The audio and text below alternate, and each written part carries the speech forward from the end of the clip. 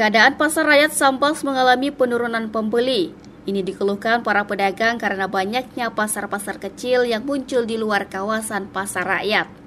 Akibatnya warga lebih banyak membeli kebutuhannya di luar pasar rakyat. Selain itu, kurangnya minat pembeli ke pasar rakyat karena adanya biaya parkir dan untuk memasuki kawasan pasar yang cukup dalam dan sempit. Banyak pedagang kecewa pasalnya sebagai pusat perdagangan di Kecamatan Sambal sudah seharusnya seluruh pedagang berjualan di satu tempat. Tim kami di dalam tuh merasa sakitnya lah gitu.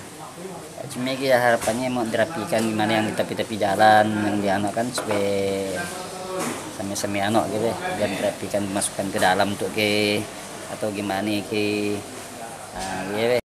Dari pantauan di lapangan terlihat pembeli datang hanya satu persatu.